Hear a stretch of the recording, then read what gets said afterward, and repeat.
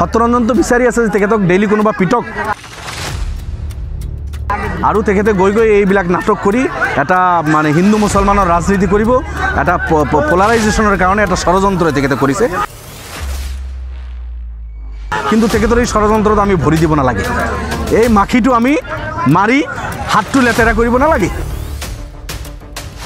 জনীয়া সমষ্টিৰ অন্তৰ্গত সৌপুৰ গাঁও পঞ্চায়তৰ টি এন ডিত দেওবাৰে সন্ধিয়া নজৰুল ইছলাম খানৰ সভাপতিত্বত এ আই ইউ ডি এফৰ এখন যোগদান সভা অনুষ্ঠিত হয়। সভাত বিধায়ক ডক্টৰ ৰফিকুল ইছলামৰ উপস্থিতিত প্ৰবীণ কংগ্ৰেছী ৰহিছুদ্দিন শ্বহীদুল ইছলাম আব্দুল মজিদ দেৱানীকে ধৰি ভালেসংখ্যক কংগ্ৰেছী নেতাকৰ্মীয়ে এ আই ইউ ডি এফত যোগদান কৰে।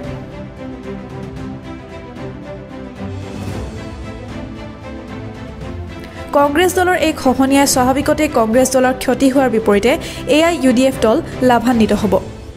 ইপিনে বহু বিতৰ্কিত হিন্দুত্ববাদী নেতা সত্যৰঞ্জন বৰা সন্দৰ্ভত সাংবাদিকে সোধা এক প্ৰশ্নৰ উত্তৰত বিধায়ক ডক্টৰ ৰফিকুল ইছলামে কয় যে সত্যৰঞ্জনে কামনা কৰে তাক সদায় কোনোবাই নহয় কোনোবাই পিটক আৰু তাৰ হিন্দু মুছলমানৰ সংঘাত লগাবলৈ আৰাম হওক।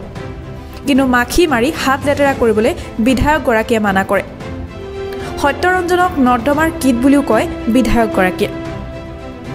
সত্যৰঞ্জনটো বিচাৰি আছে যে তেখেতক ডেইলি কোনোবা পিটক আৰু তেখেতে গৈ গৈ এইবিলাক নাটক কৰি এটা মানে হিন্দু মুছলমানৰ ৰাজনীতি কৰিব এটা পলাৰাইজেশ্যনৰ কাৰণে এটা ষড়যন্ত্ৰ তেখেতে কৰিছে। কিন্তু তেখেতৰ এই ষড়যন্ত্ৰত আমি ভৰি দিব নালাগে। এই মাখিটো আমি মাৰি হাতটো লেতেৰা কৰিব নালাগে। কোনেও মাৰিব নালাগে।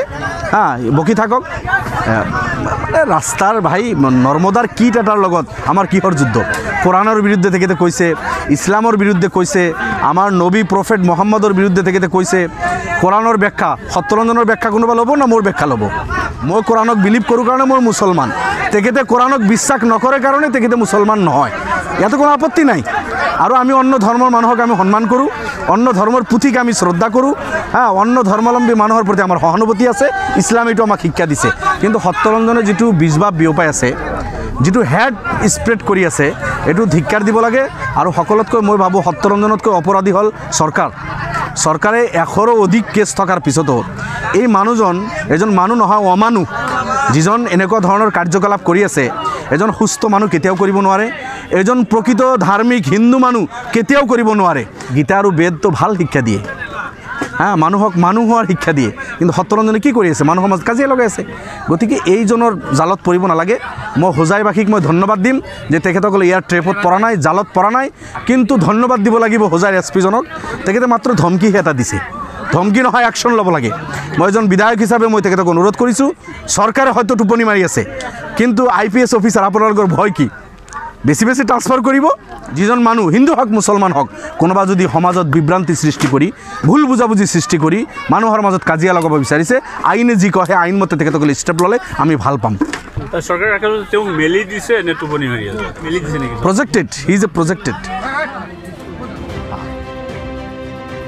কলকাছিয়াৰ পৰা জাবেদ আলী ৰিপৰ্ট অসম টুডে